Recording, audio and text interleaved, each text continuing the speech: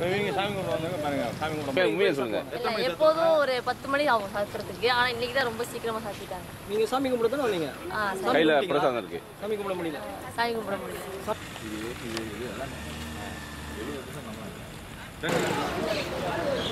கோயில காத்தி வச்சிருக்காங்க